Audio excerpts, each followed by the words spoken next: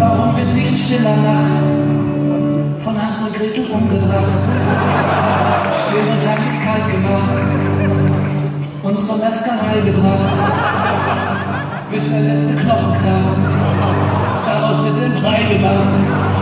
Schlaft schon Kinder, gute